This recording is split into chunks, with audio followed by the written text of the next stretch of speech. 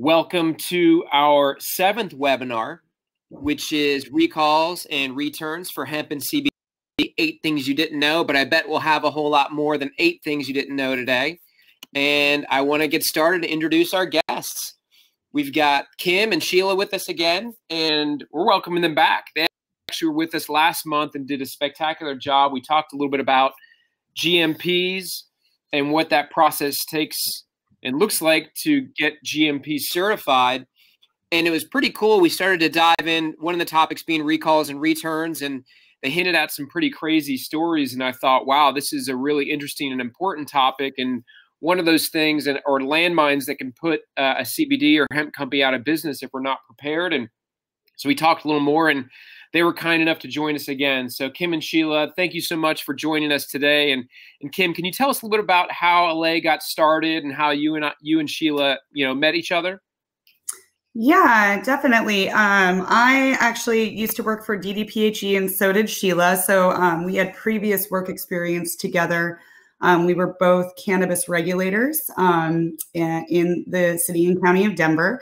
Um, it was really an amazing opportunity to learn a lot about the industry. Um, we became certified professionals of food safety and certified quality auditors at that time. Um, removed a whole lot of cannabis from um, the shelves uh, simply because of contamination. So we both have been through a whole lot of recalls um, and have, you know, really now we help companies kind of navigate that now. So um, I decided to leave the city and um, started Allay in 2017. And then uh, a couple of years later, Sheilah actually um, joined me. So yeah, it was really great. Awesome. So we have a lot to cover today, with some pretty crazy stories along with some tips um, to help us prevent, prepare, and execute a recall and return. And so before we get started and start covering that, I want to do a quick poll. Let me go ahead and launch a poll, and which is at this stage, um, how concerned are you about recalls and returns for you or your business? And if you don't own a business, let's say maybe um, it's your client, if you're a law firm or insurance firm, how concerned would you be for your clients? I will give you guys a second on that. All right, let me show the ratings for this. Right now, we're at um, on a scale of one to five, five being really concerned and one not being concerned at all, we're at about a 3.8. So it seems to be something that's pretty pretty important to everybody. And on that, let's talk a little about what some of the facts are. So Kim, oftentimes we look at recalls as with anything that could be, you know, significantly problematic. We're just like, man, I just hope it doesn't happen to me, right? So you've had a chance to see the impact some of these recalls have had on different businesses. Tell us what a recall can do to a company in this industry. Yeah. So um, when I I was working for the city, um, like I said, we did a whole lot of recalls. Me and Sheila were very involved in that process, and um, hopefully we can, you know, get some of that information to you guys today. So um, thank you for having us again. Um, we where I, I, would say in 2016 alone, um, I actually started to keep a tab, like a tally of how much, because there there isn't really any good data being kept by regulatory um, agencies at this point, talking about how much it actually costs. Um, so my disposals alone in 2016 ended up being around 28 million dollars. Wow. Um, just for the county of Denver, because that was my jurisdiction. Um, so we really didn't get, um, you know, solid data. I was the only person that was keeping just what I was disposing of. Um, and, you know, there were a number of recalls that year, a lot actually. Um, and so that just gives you a good idea. Um, I think the biggest rec- or um, disposal I ever did was a 4.2 million in one day, hmm. um, and that was where you know we showed up with a wood chipper essentially um, to the facility, and then um, you know destroyed essentially an entire crop, and then that also included a lot of concentrates and edibles and things like that that were um, included. So that was a really huge one, obviously. Um, but with these recalls, one of the things um, that happens is it's not just the the government agency doesn't just come on site and destroy all your stuff they also put out a press release and they you know usually it's in the paper mm-hmm. um, and i think that that's the damage that we can't really account for i can't tell you how many you know people customers were like oh god i'm never buying that product again um, right. it taints your actual company. it makes you look really, really bad. Um, obviously, all wholesale food manufacturers have gone through a recall at some point. It is part of making a product.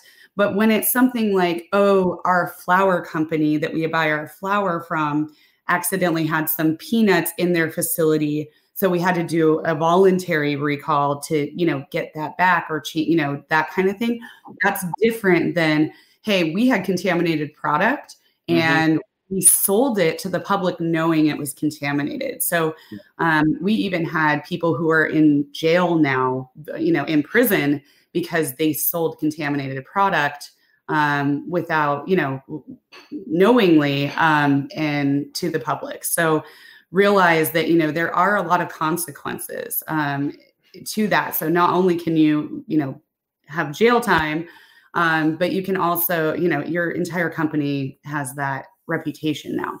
So, you know, we, we, it's really hard to tell you exactly how much it would affect someone, but it does affect them a whole lot and not just the amount that um, you know they dispose of so you know you are one regulator in one county doing 28 million dollars of, of recalls so it's hard to say what the and this is one industry right cannabis hemp cbd it's hard to say what that that number would be nationally but um, I, would have to imagine it's it's it's pretty big. And so I think a lot of times companies say, "Oh well, you know, maybe I'll just get a fine, you know, fifteen hundred dollars. What's the big deal?"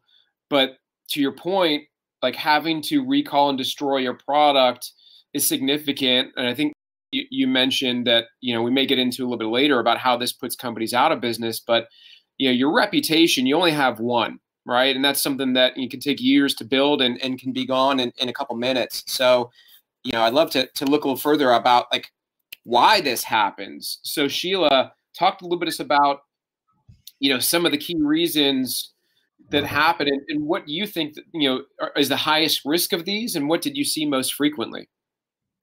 Uh, yeah, definitely. Well, thank you for having me once again. And and so right now I'm going to talk to you guys about recalls that have happened in the industry and like the reasoning for those recalls. Um, it's not always the same from industry to industry, and so cannabis is a unique industry, and there is differences when it comes to recalls. So one of the main recalls um, that we experienced or that we were a part of is unapproved pesticides. And the reasoning why this was such a big um, issue and caused so many recalls is there's a huge difference when it comes to pesticides for food versus for cannabis. Now, you can have a pesticide that you can put on food very easily and it be not harmful to the general public in certain doses. However, when you put that on a cannabis product that could potentially be inhaled, um, that pesticide has different effects and it may no longer be safe to put on that product. So it's mm. important to know what type of pesticides you can use um, on cannabis products um, to prevent a recall.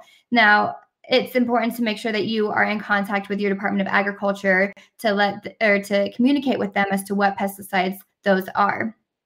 Elevated yeast and mold is another reason why there's been recalls in the cannabis industry. And now this can go down to how you're handling the plants, how you're curing the plants. If there's a lot of water content that's resi- residing in that plant, it's going to be a perfect environment for yeast and molds to grow. And at certain levels, it may be okay, but once it gets really elevated, that could be very dangerous to consume or inhale. Other recalls have been for unapproved ingredients. And so some of those examples are CBD isolate from unlicensed sources since this is such a new industry and it's not, you know, regulated federally at a federal level, there are unlicensed facilities that are selling cannabis and CBD products. And so it's important as a manufacturer that if you are purchasing CBD oil or isolate, that it's from a licensed and regulated source. Um, other unapproved ingredient recalls have been from non consumable ingredients and consumable products. And so on the next slide, we have some really good examples of some of these recalls that can really show you the severity um, and the, you know, the situation around those recalls. Another one is synthetic CBD. And this is something that you don't think about so much in the industry, but it does happen. And there have been recalls because of it. Hmm. Other reasons are labeling errors. And I think this is across all um, industries that there's labeling errors that can cause recalls. And some of those can be severe um, with allergens that need to be labeled that are not labeled. And some of those can be not so severe labeling errors. It, Residual solvent.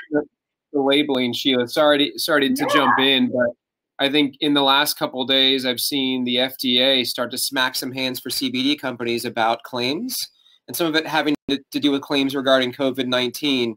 So unless we have some sort of deep uh, studies, like I think you can't, we, you know, knowing that we can't make claims and put that on labels, I think is, is really important, something that'll get us in trouble fast.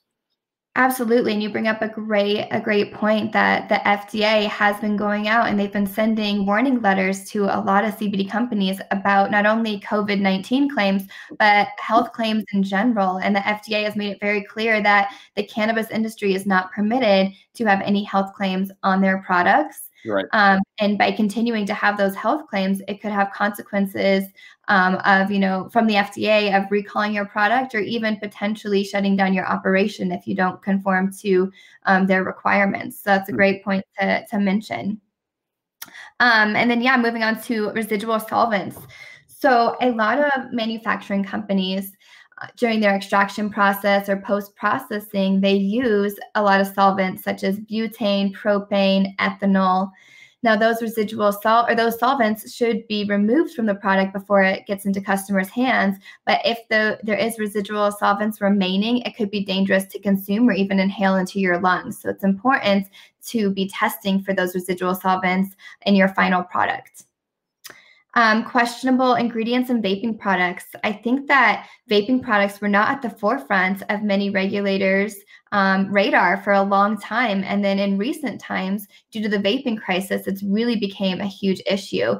And the vaping crisis really brought to our attention the ingredients in these vape products could cause adverse health adverse health events. Um, there were several people who were getting sick based off of the ingredients in vape pens and it caused several recalls among many different states. And not only that, but regulations started to change in many states as to what is allowed in vape pens. And so that was a really big one that wasn't really something we had thought about um, in many states. I know that Denver had looked into it for a long time and that there, there just wasn't a lot of information. Um, and now we're really collecting that information as to what is safe to inhale and what is not safe to inhale. Hmm.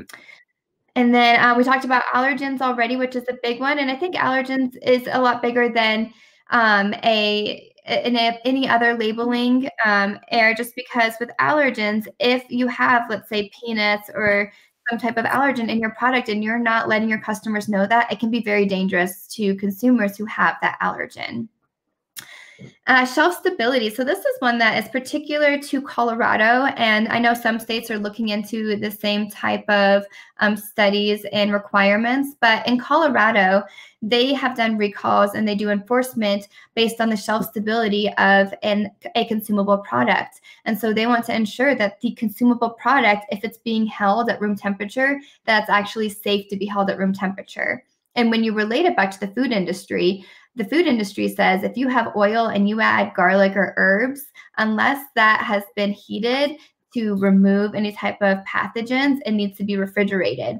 And in Colorado, the health department takes the same stance in Denver that if you have a cannabis oil um, that has that is made from cannabis plants, botulism is a risk. And the reason for that is botulism is ubiquitous, but it thrives when it's in an anaerobic environment, such as oil, where oxygen can't get to it. And so the concern is if you're not heating that oil to get rid of the potential for botulism spores, or you're not refrigerating that product, it could grow those spores at room temperature. So it's important to make sure that if you have a product held at room temperature, that it is actually allowed to be held at room temperature. Otherwise, it could result in a recall or a hold of your product. Excellent. That's really good input. Yeah, absolutely. And then the last one is unapproved facilities. And so this happens when you have a regulator that goes into your facility um, to do an inspection and they find out that your facility is not adequate for making the products that you're making. An example of this is if you're making a consumable product and you don't have running water to wash your hands or to do your dishes, that's not a compliant commercial grade facility and it actually is putting your products at risk of contamination. Um, and so there have been recalls based on the facility structure alone from lack of water or lack of hand sinks. That's excellent point and something that we urge our clients to do is if let's say you're a brand or you're using manufacturer or you're buying ingredients and you look at any sort of certifications that they may have it's important to get them from every single facility that they're operating from and if they move facilities, it needs to start all over again. So I appreciate you making that point. So Kim and Sheilah, you guys mentioned you're regulators in the city of Denver. I'm sure have some some kind of crazy stories about things you've seen. And granted, it's it's, it's a young industry. Tell us some of the stuff that you saw, and maybe some lessons we can take away from this um, for all all our listeners today.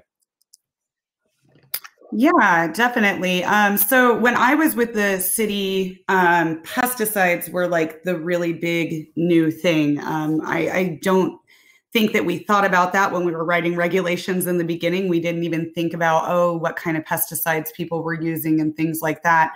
Um, and it was actually the, the fire department that brought it to our attention um, that Eagle 20, which um, its active ingredient is myclobutanol, um, it, you know, was being used. And um, this is a, a, really, you know, carcinogenic type of pesticide. Um, you shouldn't be spraying it without the proper PPE. Um, it's really not supposed to be used on anything except for ornamental plants. Um, so like Christmas trees and things like that, bushes. Um, and it gets rid of powdery mildew. And as you know, you know, that's a huge issue in the cannabis industry. and so yeah, I mean, we they, we kind of discovered that people were using this. Um, we also learned that when it combusts, it becomes other things um, in that chemical process. So a lot of people, you know, were smoking this, and it was becoming more dangerous, um, you know, than it was originally um, when combusted. So the CDA actually banned the use of Eagle 20 on cannabis cannabis during the time that I was there um, and a lot of you know things we had to recall. I mean, I was finding, um, for instance, we went into a place that um, I tested the concentrate. It was just a, a regular like butter shatter. Um, and it was 56% myclobutanol. So you were actually getting more of that toxic chemical in that than you were actual THC um, and other terpenes and things. So it was a really, really big deal back then. I think a lot of the myclobutanol use, at least in Colorado, has gone down, um, but that's not the case in other states. So, um, you know, making sure you have accurate COAs and things like that is really, really important that you're testing for these kinds of things. Um, and, you know, just really whatever state or county you're in, um, you know, you can always look to the Department of Agriculture and they should have a list of banned pesticides and pesticides that you are able to use. So to avoid that, um, you know, just use what you're supposed to use. Um, equipment cross contamination was uh, a really interesting thing that we ran into. Um, and we actually ran into this because of the myclobutanol and um, imidacloprid and spironolactone. So many of those chemicals are um, they're chemicals that I would consider very sticky. So they they stay in things for a very long time. In fact, we would even like swab walls and things like that in facilities, and it would be like living in the you know not living it's not a living being but um, in the walls and things years after you stopped using it so um, equipment cross contamination we found in extraction um, if you are not properly cleaning and sanitizing in between um, different like different growers product you could potentially be contaminating the next person's product. Um, and we ran into that. We had a huge recall um, one of the bigger ones that i did that that was what was happening. So we, we were following back all the way to the grow of this contaminated product testing the grow and the grow was clean and we were like what is going on? How is that mm-hmm. possible um, and then we found out that what was happening was the extractor was running contaminated product. And then instead of cleaning and sanitizing in between, they would just keep running all the time. So every single thing that they made in that facility became contaminated just because of one one person's grow. Wow. Um, yeah, just because of poor practices. So um, those were the ones that I was really involved with, and um, Sheilah has some good stories about the the next ones. So. Yeah. So um, in mm-hmm. Denver, you know, as Kim mentioned, pesticides were a huge issue and were the source of many recalls, um, you know, at the beginning. And then once we really started to get less pesticide recalls, and that was really becoming under control because the industry was learning um, from other um, facilities that had had recalls, then we started to experience a lot of elevated yeast and molds um, that would result in recalls. And there was one um, in particular that we really learned a lot. And I think it's important to share just so um, other companies can learn from this and prevent this from happening. And so this particular recall, it started with a complaint that a consumer had reached out to the health department and said they were having adverse health consequences after they had smoked um, certain pre-rolls. And so for the health department, they went out and they took some of these pre-rolls and sent them to a lab for testing, um, testing pesticides, residual solvents, you name it. And what we found was they had very, very elevated yeast and molds, and it was higher than we had really been used to seeing. So during that time, it caused a recall for those pre-rolls and an investigation to determine why were these pre-rolls so elevated with total yeast and molds. What we found out during this investigation was um, that there was a lot of poor practices that were happening within the industry that needed to be addressed. And so, what we found out was it is common practice that at dispensaries, when a customer wants to buy a certain strain, they like to evaluate that strain. Sometimes they want to pick it up and look at it um, and smell it to kind of smell those terpenes to see is this the strain that I want.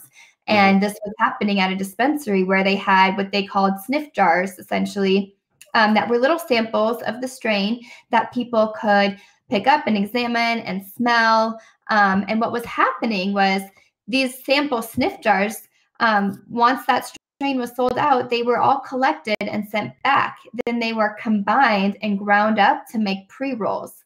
So, what was happening was this plant material that had been touched by several people, they were in these containers that were probably collecting moisture from people breathing in them. It was creating an environment for yeast and molds to really thrive and start to grow.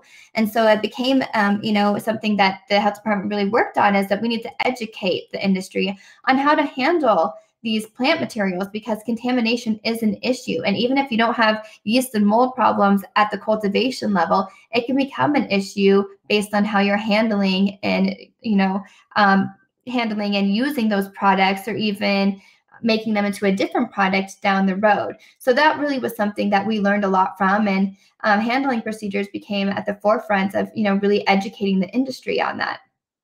And also with the same, um, you know, recall, we learned that if you don't have proper curing methods based on your or with your plant material, it can cause yeast and mold problems down the road. If you have moisture content that is at elevated levels, it's going to create an environment where the longer that that plant sits, um, especially depending on where it's stored and handled, it can grow yeast and molds. So that was a very interesting recall that we were a part of um, and definitely learned a lot. Um, another big recall was related to unapproved additive ingredients. And so this recall was interesting because it wasn't with the biomass of the plant material, it was with edible products. And what we found was that there was edible products that were intended for consumption that had ingredients that were not food grade. And so we found that there was these essential oils being added to this consumable product and for essential oils, they're kind of tricky because some essential oils will say that they're food grade and you can actually consume them. But some essential oils very clearly state on the label that they're not food grade. And that was the case in this situation where these essential oils that were being added to this consumable product clearly stated for aromatherapy use only, which means that they are not approved to be consumed and we don't know if they're even safe to consume. So it really kind of drives home the point that it's really important to be vetting all of your vendors and making sure you do your homework on all of your ingredients because this whole recall could have been avoided had it been a food grade essential oil and had they done their homework to make sure it was food grade and intended for consumption. And then the last one I want to mention to you guys is actually not one that Kim or I was involved in. It was in the state of Utah, and it was something that you know we heard about from the news. Um, and was actually something very shocking that I had never even thought about in the industry, but it shows that, you know, you got to be prepared for anything. Hmm. and what this or what this recall was was there was 52 people in the state of Utah that became ill after consuming um, some of the CBD product. And when they went to the hospital, the hospital found that they all tested positive for synthetic CBD that was referred to as 4-CCB. Now, the interesting thing with this recall is this company did not advertise that it was synthetic, and the consumers were under the impression that they were consuming real CBD. And so it ended up being a huge issue where you know, it really drives home the point of why testing is so important in the industry and why really regulations are needed. But it also shows that if you are purchasing CBD oil or isolate from another company, um, not only should you be checking that COA to make sure that it is what it says it is, but you should be conducting testing yourself. Because if they give you something that is a synthetic CBD and you put it into your product, you're now held liable for it. And if there's a recall, it's going to fall on you. So it's important to be testing your ingredients and making sure that what is in your product is actually safe and what it is supposed to be. That's that's a great point. Which is, if you look at all of these, that they're preventable in some way, right? Perfect segue into how do we prevent these things from happen. Kim, talk a little bit about what we, you know, what the listeners on here can do in order to make sure that these type of major issues don't happen to them. Yeah, so um, this is a really good list of things just to you know be aware of, and if you're not, if you don't have procedures in place um, right now, you probably should think about putting something in place. Um, mm-hmm. Vetting your suppliers is a really huge deal. Um, any type of ingredient that you're buying and putting into your um, products is really important to know where it's coming from and making sure that it's made in a facility that is licensed and is inspected by some kind of local health authority um, or even state health authority or the FDA. Um, making sure that you're vetting, you know, it, that they're a legit company, even doing a site visit. Um, a lot of people will actually hire our company to do third party food safety audits um, in their suppliers' facilities, um, especially if they're you know, doing a CBD supplier or, you know, a THC oil supplier, it's always a good thing to just know where they're at with their food safety um, and make sure that what they're making is, is a safe product. Um, ingredient testing, um, this is something that actually is required for GMP certification and things like that. Um, you know, testing your ingredients, especially if it's a CBD product or, you know, THC or CBN or CBG, um, making sure that it's tested. Um, I know a lot of times we've run into this issue several times as consultants um, where, you know, they'll come with a COA mm-hmm. and really um, that COA is a fake COA. We've had that happen a lot of times in like isolate transactions and things like that. So testing it yourself in house and just making sure that those numbers are lining up um, is always a really good thing. Um, you, you literally took the words out of my mouth where we work with a testing company and they they've found that some of their COVs have been doctored on the market. And that's why, you know, they're looking at our technology, how to validate the data there. But I'm really glad you brought that up. Just because somebody provides a C of A, you know, that's that's a good start, but doing it in house is is absolutely critical. So sorry to interrupt, but but that's a good point.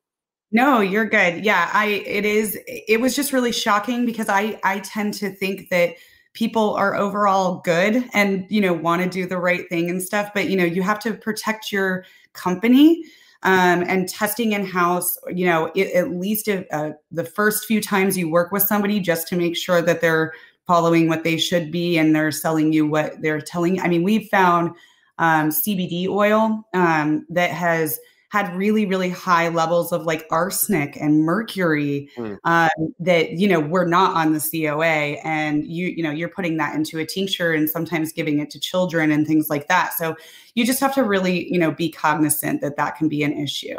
Um, and then and final product testing. So end end product testing is what a lot of regulators call it. Um, you know making sure that when you're testing the the product that is actually going to go to the consumer is really really important um, you know sometimes if you're testing just the cbd and there's other ingredients there can be contamination um, of other things throughout the process. So testing at the end at that final product is always really important to do, just so you know that the things going out the door are good to go and safe for everybody. Um, approved pesticides, we kind of already talked about this, but you know, really pay attention to what pesticides you can use and not use, um, and test for those pesticides that are not allowed. Uh, we always recommend this just because we've run into so many issues and so many recalls because of this. Um, you know, just making sure you know what those pesticides are and you know what to look for. Um, food grade consumables, obviously, uh, make sure that anything that you're putting into your product is a, a, food grade product. So, you know, there are products that are out there, just like Sheilah gave a perfect example of essential oils, um, things like that sometimes are not food grade. They're not made in a facility that is approved by licensed and approved by the FDA um, or the local health departments in the case of ca- cannabis. Um, so just really make sure that you know, you know, that everything you're putting in your in your products, including, you know, uh, things that smell good or you know cherry flavorings and things like that that they're actually food grade. Um, proper labeling we, we also kind of already touched on that but you know making sure there aren't any claims on your labeling making sure um, that you know the the thc percentage is right or cbd percentage is right. Um, you know those are the kinds of things that will cause a recall um, to happen. And you know if you do have allergens in your facility you know we per FDA labeling requirements, you should be putting, you know, was made in a facility that has nuts or things like that. So making sure that you're labeling everything correctly is really important. Um, storage and handling. Sheilah also gave a really good um, example of this. You know, making sure that anything that you're using is handled and stored correctly in a safe manner um, that cuts down on the amount of cross contamination. Um, you know, many things in every single facility is entirely different than the next. Um, so, you know, just look around you and be cognizant of like, hey, you know, that whole bag of, of hemp has just been sitting on the floor in this corner and there's water. You know, maybe we should store that in a different place and maybe off the ground. Um, you know, those kinds of things are, are just mm-hmm. really important. Um, cleaning equipment, I, I gave the example of the cross contamination with equipment. This kind of thing happens all the time. So, you know, really make sure that you're cleaning and sanitizing all of your surfaces and equipment and things like that in between, you know, processes and, and just as often as possible, to tell you the truth. Um, the more clean that your facility is, the, the less likely it is to have cross contamination issues.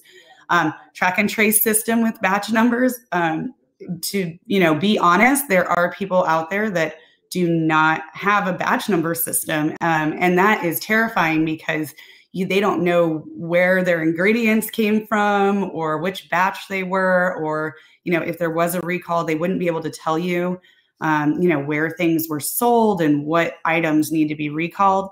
Um, and when things like this happen you know then the regulators have no choice but to um, you know, have an any and all recall is what they mm. call it.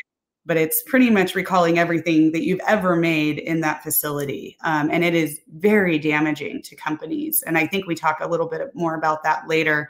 And then mm-hmm. just the facility, um, just like Sheilah said earlier, some facilities are not built to make food products. Um, so when you're building your facility or if you're retrofitting your facility, really making sure what the regulations are and making sure you have enough hand sinks and a three compartment sink and a mop sink and making sure they're in the areas that they're supposed to be in um, and making sure you have hot running water and you know things like that that sound like common sense. Um, but believe it or not I, I would say 80% of the like cbd facilities that i've been in since being a regulator to do just an fda audit um, I, I if i were an fda regulator i probably would have closed them on the spot Wow. That's how many facilities are not built correctly. So um, just keep that in mind. And, you know, moving forward, those are some really great ways to just prevent recalls from happening. Thanks, Kim. That's awesome. So, Sheilah, of course, we all hope and wish that a recall and return doesn't take place. But even with a, a company that's doing things the right way, it still it still may happen and, and probably likely will happen. What can companies do to kind of prepare ahead of time and also anticipate and expect through a recall uh, process uh, that may occur? Yeah, absolutely. So I think it is important to know um, what all a recall entails and how to best prepare for one. It's really important that everybody has a recall plan within their facility that kind of outlines these topics. That way, you're prepared if it does happen. It's much easier to be prepared if an if a recall does happen than to have to figure out how to do a recall, at, figure it out as you go. So we're going to do a, a just a walkthrough of what to expect and what you should be preparing for. And the first thing is, you know, the start of a recall. And so oftentimes a recall is based off of a complaint that you receive or identifying a nonconformity that you guys find in the facility yourself, um, realizing that there's contaminated product on the shelves. And sometimes it can even be a regulatory authority that's ordering this recall. Um, so that's kind of generally why they start in the first place. Now, if you have a consumer complaint, um, that reaches out to you that is going to cause a recall or a complaint in general, it's really important to record all the information about the complaint, the details, the complainant's information, because this is all information that you're going to have to relay to your regulatory authority when they ask you. So make sure you guys are documenting all the details of your recalls. The next step is going to be determining the need for a recall. So, not all complaints are going to result in a recall, and not all nonconformities will. So, it's really important to determine if a recall is even needed. And if you determine that, yes, there's contaminated product on the shelves that we need to recall back, then yes, you should definitely conduct a recall. Or if you get orders from your regulatory regulatory authority, then that's going to determine the need for a recall right there. Uh, the next step is going to be to determine the scope. So, who is involved and who needs to be contacted? If you are a manufacturer, if you're wholesale and you are selling products to several storefronts, and they have this potentially contaminated product on your shelves on their shelves you need to make sure that you have the necessary contact information to contact them to let them know about this recall uh, next, you want to make sure that you contact your legal counsel, especially when there's a big recall based on contamination. If the authority is involved, if there's people who have been sick, it's really important that you have um, contacted your legal. Um, contact your regulatory authorities. This is a big one. And I, really got to stress that it's important that even if the recall is minor and it's not something based off of a huge contamination, it's important to let your regulators know what's going on. Um, that way, if they need to get involved, that they can. Um, and then the last one is to contact your liability insurance. And we're going to talk about that a little bit further on in the slides. Um, next, determine um, the retrieval method. So, how do you plan on getting all this product back to your facility? Are you going to physically go and pick up this product yourself? Do you mm-hmm. need to send shipping labels out to have them send it back to you? Uh, next, you're going to initiate the recall. So once you figure out all the different details of how you're going to execute the recall, it's time to initiate it. And so that's going to be notifying customers with possibly contaminated or suspect batches and the purchase dates of those batches. This is where it's really important to work with state um, or federal regulators in assisting with this part of the recall.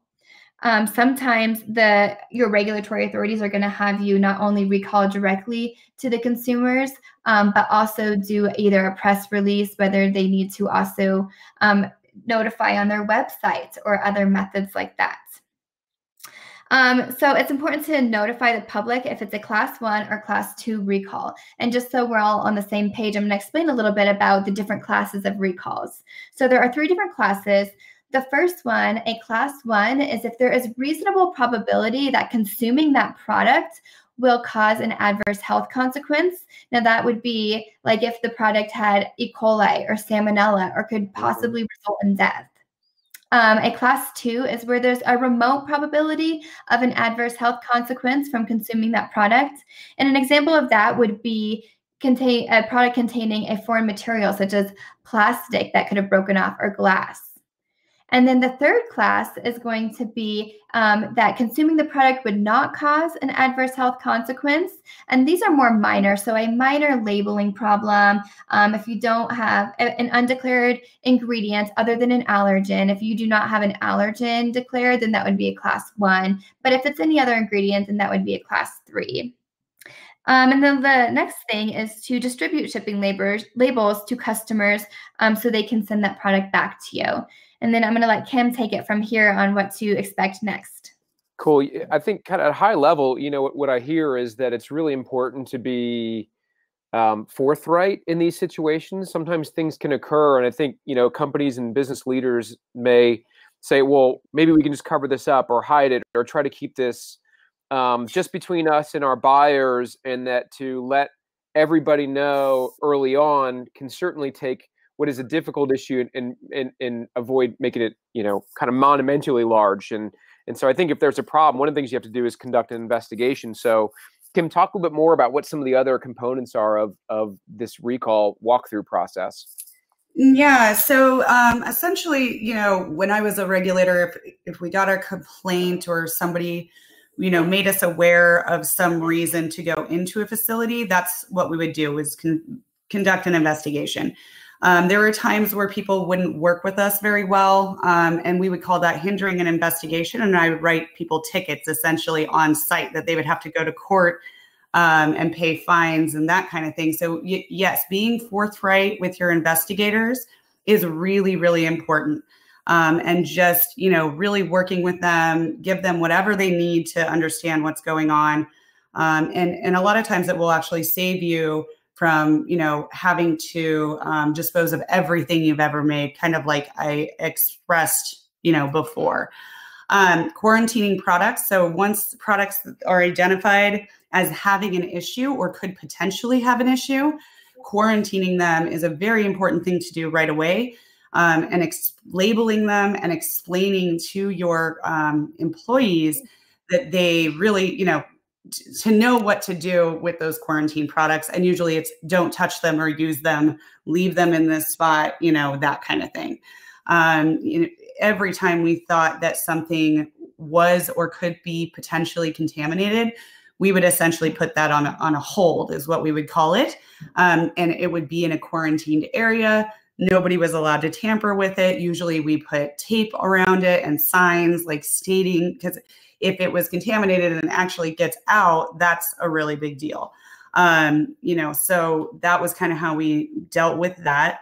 Um, then usually we would do laboratory testing of things in the facility, whether that be plants, if it was a grow, or you know other products that are on the shelves, things like that. Um, we would always do lab testing to see what's contaminated and what's not. Um, then, pending those investigation results, um, you know, we would kind of put together a game plan um, and kind of know what our next steps would be in case, you know, it came back uh, like clean test results or not clean test results. You know, we knew exactly what we were going to do next. Um, and usually, when we were waiting on those test results, obviously all of that stuff would be on hold um, until those test results came back. And sometimes this can take, you know, depending. Um, we had one uh, one operator um, back in the day um, that we had their entire facility on hold, hmm. and we were using testing labs, you know, that were just cannabis testing labs. They didn't believe that the test results were real um, because some of the testing labs at that point, you know, weren't really um, following any guidelines. Really, they were just kind of there. So we were getting really varying results from different testing labs. Mm-hmm. Um, and it was kind of it was a pretty big issue at the time.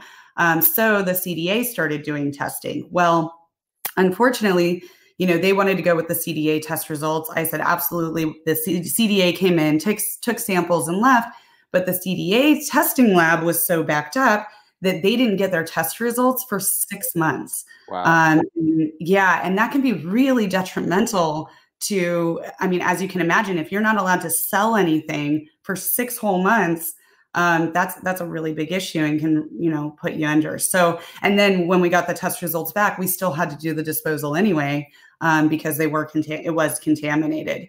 Um, and that was from somebody who had bought a grow that was previously um, contaminated with myclobutanol so they weren't spraying anything that they weren't supposed to be using you know, they were doing all their right stuff. They didn't realize that the facility itself was contaminated. So that I mean, there's just so many weird things that happen. Um, and then in in this case, um, you know, obviously you need to contact your suppliers. Um, no matter what, if you know you're selling to dispensaries or you know to the public or to you know any storefront, you need to really you know let them know what's going on um, and and make sure that any suppliers of your ingredients you need to let them know what's going on as well in case it's one of their ingredients that's the reason for the contamination. Um, maintain logs. I, I beat this horse all the dead, dead horse all the time but mm. everything that you do regulators will not assume anything. Um, if you tell them hey i always do this that's not proof to them. Your word means literally nothing. The only thing that matters to regulators is proof and data.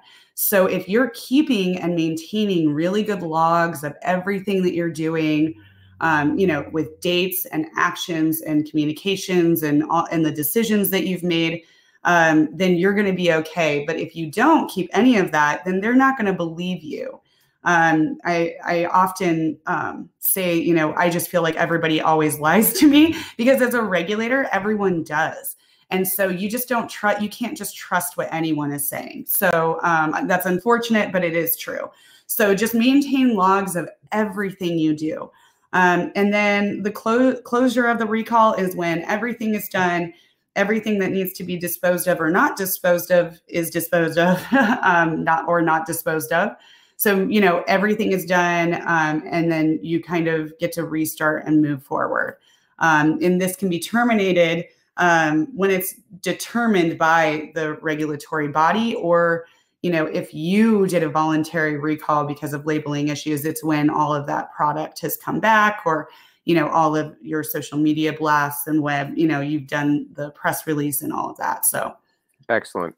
No that's that's great. And so Sheilah, give us some tips. Now, products are coming back high level. What are people supposed to do with them? Right. Sometimes it may seem, I mean, you guys do this pretty regularly, but um, walk us through that process and what people should do with a return product. Yeah, absolutely. So once you have, you know, conducted the recall and you have all this returned product, um, the first thing is important to have a designated area to store all of this product. Now, this area should be labeled um, as to, you know, do not use, this is quarantined, contaminated, however you want to label it and make sure that it's separated from all other ingredients and products to ensure that there's not going to be any mix-ups, that your employees are not going to accidentally go over there and grab anything um, to use for production or to sell to con- to consumers, um, it needs to be very clear that this product is on hold and being quarantined. Um, a big part of that, though, is the storage. So if you have a special quarantine area, it's important to make sure that you know the same storage applies for this product than all of your other products. So you still want to make sure that it is stored off the ground, that it's protected from contamination. We don't want to have anything uncovered that would attract pests or anything like that. And the reasoning for that is if this product is under investigation, you don't want to add any more to the contamination. And even if it's not under investigation, let's say that it was just a minor recall based off of improper um, labeling and that it can easily be corrected and sent back to stores, you don't want to contaminate that product so it can no longer be reworked and sent back out to stores. So make sure that this quarantine area is properly stored. And then you want to make sure that you keep all of this product in the quarantine area until you have approval from your local authorities, especially if the authorities were the ones who told you to do the recall or if they have been involved in the recall. It's really important that you get approval from them before you release anything. Um, the reason for that is if you're going to be sending stuff back out to consumers, your regulatory authorities want to make sure that the um, recall has been remediated, that any contamination has been corrected. Um, and even if you're you're if you decide to dispose of this product because it's contaminated Mm-hmm. Oftentimes, your regulators need to have oversight. Um, the cannabis industry is an interesting industry where cannabis is not federally legalized. And so there needs to be oversight, oftentimes, and proof of proper disposal. And we've heard several times that during recalls of stuff that was supposed to be disposed of, it's sneaking out the back door. And so, right. a lot of regulators, it's important to them that they can visually see the disposal and that you have disposed of this product and it's not going to be leaving your facility and potentially going to consumers. Um, and then the last Yeah, and then the last thing to mention is to just document, um, especially you know to give proof to your regulatory authority. Document the quantity, how the product was handled, if customers were refunded. This is all stuff that you probably want to keep on site anyway for your personal records for your company. But anything that is returned, it's important that you really have documentation of that and proof of that. You know what what you guys talk about is you know there's complexity in knowing where your product came from who you know specifically who is the supplier what's their location what type of equipment did they use what type of testing they did to do what you did in your facility where did it go? That all fits into traceability. Talk a little about Sheilah why traceability is so important in this industry. Yes, I really, really stress how important traceability is when it comes to recalls. It will be a lifesaver. It'll make your recall so much easier and can make it far less detrimental to your company.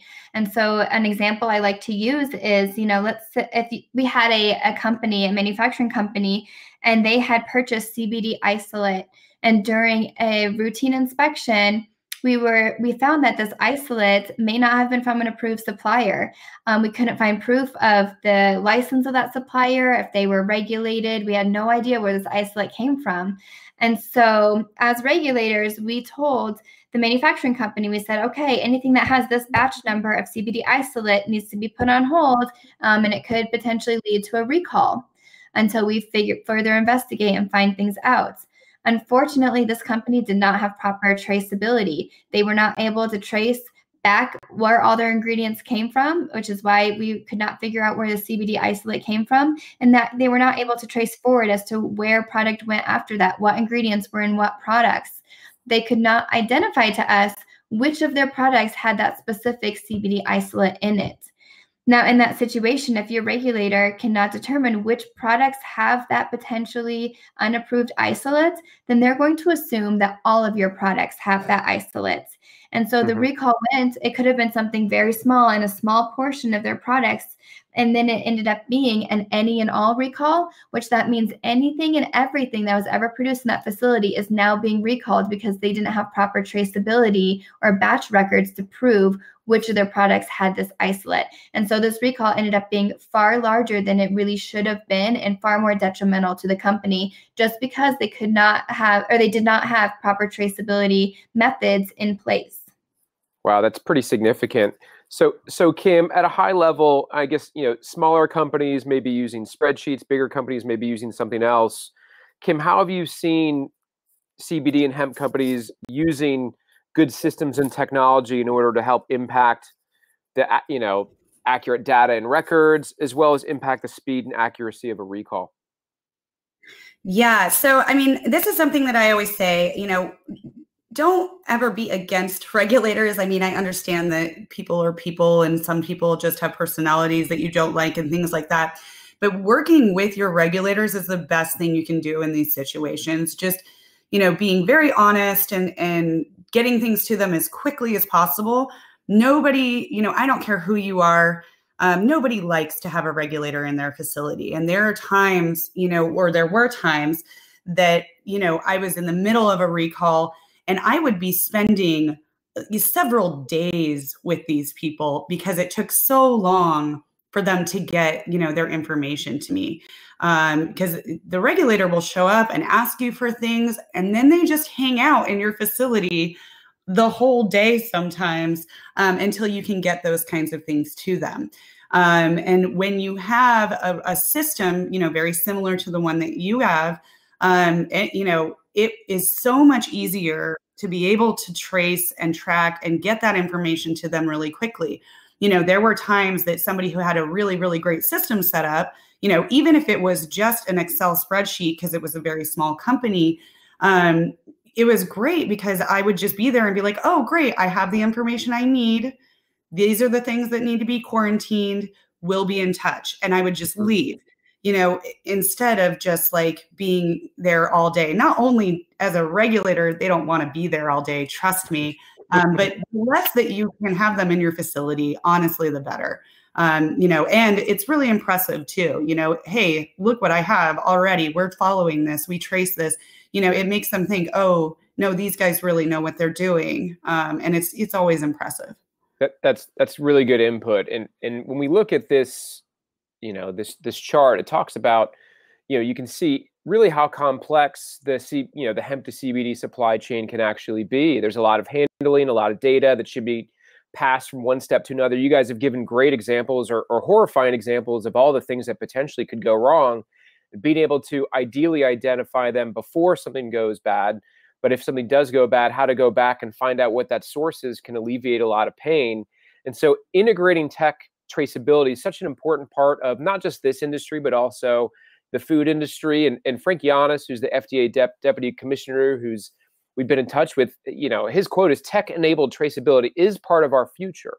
It's something that we want to integrate. And so what TagOne has done is given our partners and customers the capability to capture information at the farm level, migrate that over to the enterprise to connect all of your um, you know your documentation your buyer suppliers locations as well as to empower the consumers and buyers to know where that came from. And so so three key components that are relevant to this conversation is one having data immutability meaning you know we use blockchain. How do you know that the information put in there is accurate and and and also up to speed and also connected which is having a single system that pulls all this together? And ultimately that's going to lead to you know food security or cbd security. So that's something that that you know we want to do to help help our clients along the way so real quick another poll we're going to push out just to get a, sense of what everybody's thoughts are.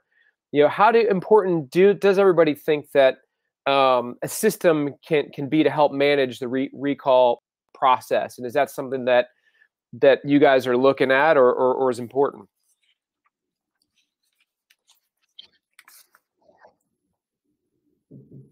I will give it another quick second and we'll go from there.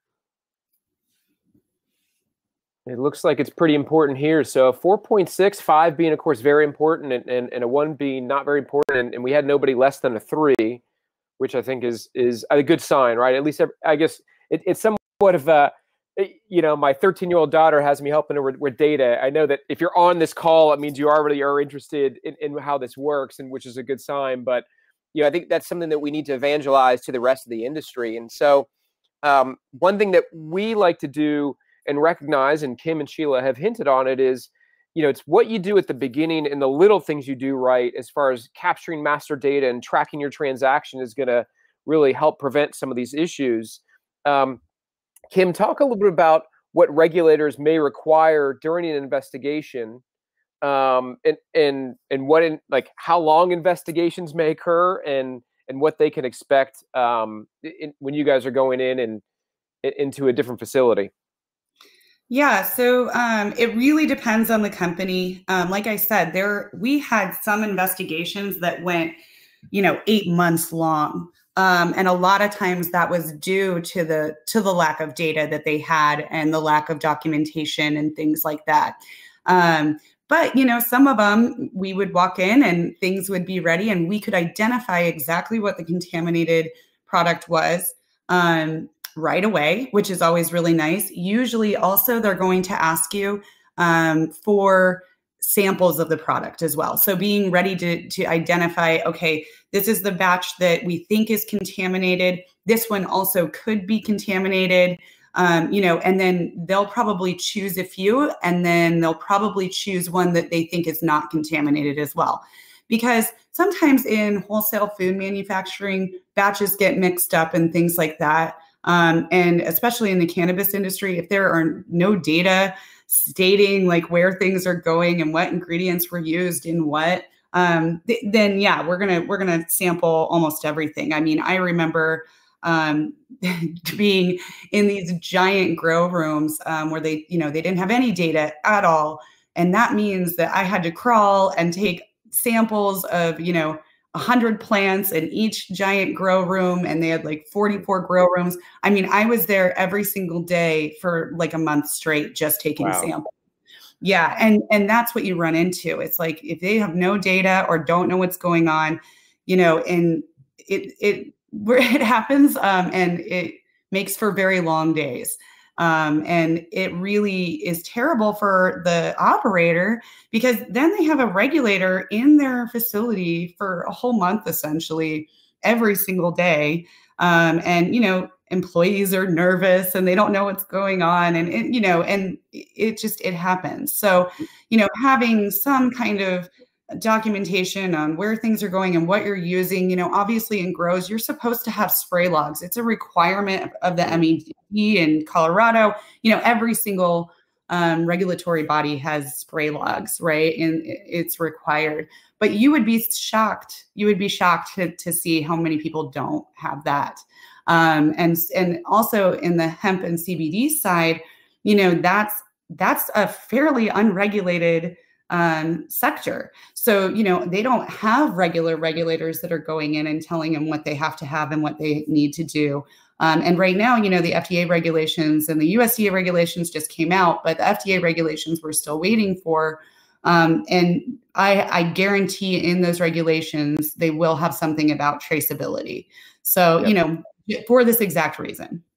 Yeah, I think that in the September, the FDA is supposed to be putting out some more information on traceability, and that's really why you know you know we feel that you know whether you use our system or a homemade system or somebody else, just making sure that your you know the data you're capturing is accurate, right? And, and so I, I kind of look at two main components, which is knowledge, knowing what to collect, and then discipline, making sure you do that and, and having a, good system will sometimes remind you, hey, don't forget to put this in, as well as give the discipline and analytics to make sure everybody's following things the right way. But putting in accurate data, um, making sure that you put in when you receive ingredients, from whom, are they approved, and being able to make sure you don't lose visibility from a lot or batch number as it goes through a blend or transformation, and you have a new lot number created in your own facility. So Historical spreadsheets have made that very difficult, and I think that's what we've developed in TagOne. Here you can see what we call our visual map.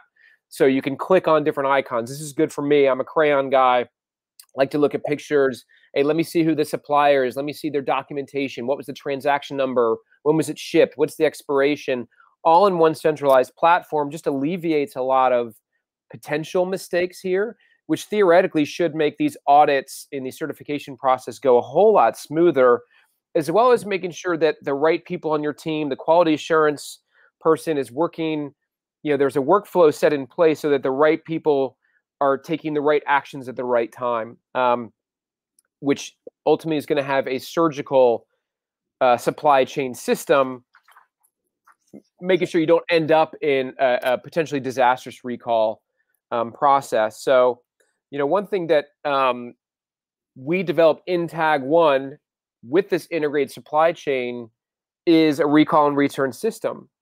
And so having that built in already allows you to create templates with the different classes, right? Class one, class two, and class three with various um, verbiages all already in there. And, and Sheilah talked about those different classes. Um, and then also having the ability to say, hey, we know this lot number from this supplier needs to go on a recall. Having an integrated system, you already know who's received that. So it should make it very simple. Having the template automatically email out who those supply who the buyers are, because you'll have your buyers input into the TagOne system already. And then from there tracking what you received and when. And so by having all of this in one centralized system, the intent is you know, knowing every step of the way where everything is at. Also giving your partners like regulators, like your insurance providers, like your executive team, um, visibility on what's happening. Nobody's in the dark, and you're not rummaging through paper to try to pull that together. Um, so that way, audits are, are just a whole lot easier, and the process is much much faster. So, last poll, we've we've covered a lot, and we've got a couple more slides too. But after hearing this, how prepared do you feel you, your company is, or your clients, if you're getting your insurance or, or, or lawyer, are for a recall and return?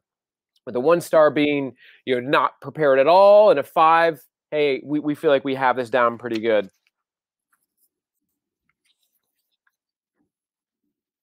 Give you guys a second to do this, and we'll show the results. And we'll wrap this up and get to some questions. All right, appreciate everybody's honesty. We'll push this out here. So we're right around in the middle. Like we're about 3.2. We got five people who says they're right there and and most people are kind of at the two and three star, which isn't surprising. This is a lot to learn. It's a new industry, so appreciate everybody's feedback. All right, so next next thing is, you know, our friend at McLaren's um, Insurance have are, are, are looking to provide um, services to hemp and CBD providers, and they, and they shared some information I thought was important to put on here because it's relative to recall and return that was enlightening to me. So one, which is knowing a do you have insurance? And then making sure you have the right insurance. So a lot of us just assume hey product liability insurance i'm covered right? If there's a problem or somebody gets sick and i get sued you're covered. That is correct.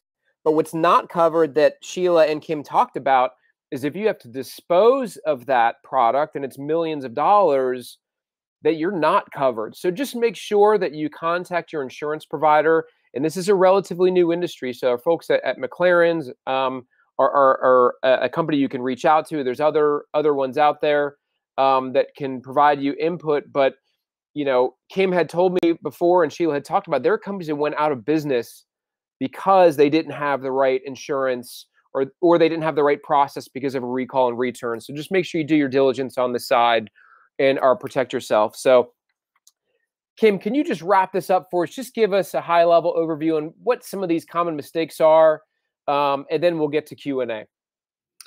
Yeah. So, um, I mean, obviously, I, I feel like I'm just kind of repeating the stuff that I already went over with this list. But you know, if you take anything away from this, this these are the kind of talking points that I feel like you should pay attention to.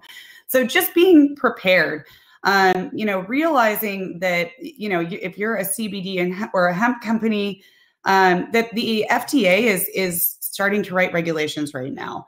Um, and understanding what their wholesale food regulations and supplement regulations that already exist are, um, you should be able to get your facility into compliance with those regulations because they're not going to reinvent the wheel. Um, the FDA knows food safety and they know product safety. Um, CBD has a few nuances that they'll have to, you know, write some certain things into, but for the most part, it's all going to be the same. Um, so, you know, getting prepared now, having a, a batch number system, doing all that stuff now is going to save you so much time and stress and money down the line because it's coming. Um, it doesn't seem like it's coming very quickly, but it is. Um, and then not communicating um, is a huge mistake um, in this industry.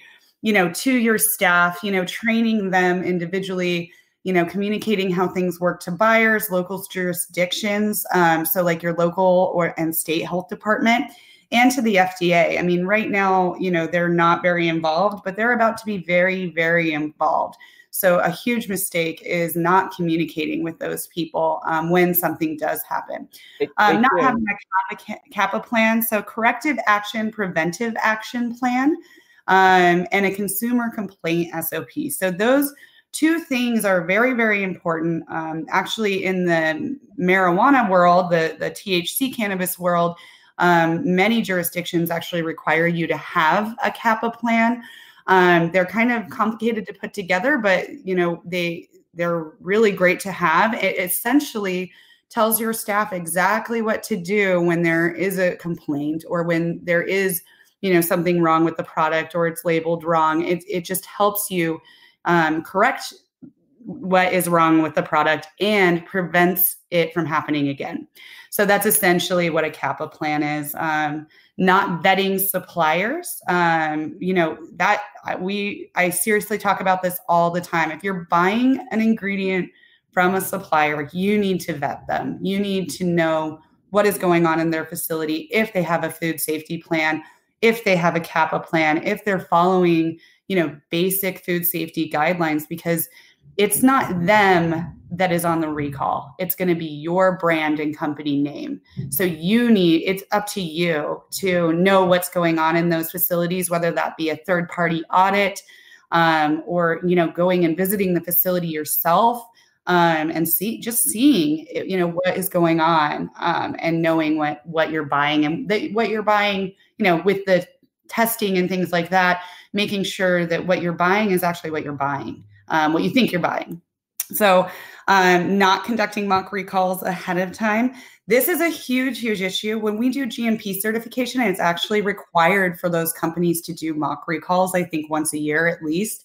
Um, we always recommend, you know, going up to the shelf, wherever it may be, grabbing a product off of that shelf and pretending like that product is contaminated, finding out where it's been sold, what ingredients are in it, you know, choose a fake, you know, one of the ingredients, like pretend that it's contaminated, and then walking through what to do in that instance and in, in that scenario. It really is a great way to train your staff. Um, you know, all of your staff should know how to do a recall. Um, and having a really good recall SOP also, um, I'm just throwing that in there. It's a good idea as well um, not having a designated team that's responsible for recalls and for you know your food safety and things like that. Um, that is also required um, per gmp usually is having at least someone that's in charge of it all. Um, but you know having a team that's specially trained on food safety or recalls is a really really great idea. Um, and it gives them some responsibility and they can you know really pitch in and help um, and then all of it doesn't just fall onto the owners or you know whatever. So it's just really effective. Um, not having product liability insurance we you know we've been we just talked about this. Um, it is a really big deal. If you don't have insurance your company might not last um, and it is a really important thing to have. So um, we always recommend that. And not having legal guidance. So, Allay Consulting, you know, we know a whole lot of stuff, but we are not lawyers. And you really should have great legal guidance if you are in this industry. Um, not only, you know, is it very complicated and the laws are very strange, but, um, you know, having someone that you can trust that you can go to and ask, hey, what should I do? What should I do in this instance is always really, really great. So, we always recommend um, having, you know, good legal guidance um, not putting your customer first. So if you're out there just to make a quick buck, um, you know, that's one thing. But if you're in this because you love it and because you care about, you know, the people that you're giving this to, you should think about them first. Um, and should have food safety plans and GMP certification and CAPA plans and you know all of this stuff in place because really it's about them um, and you don't want to make anyone sick. It's you know that's a terrible thing um, when it happens, and you know you should be doing everything that you can to prevent it. Um, and then not having a track and trace method. Um, we, I mean, I literally talked about this the whole time.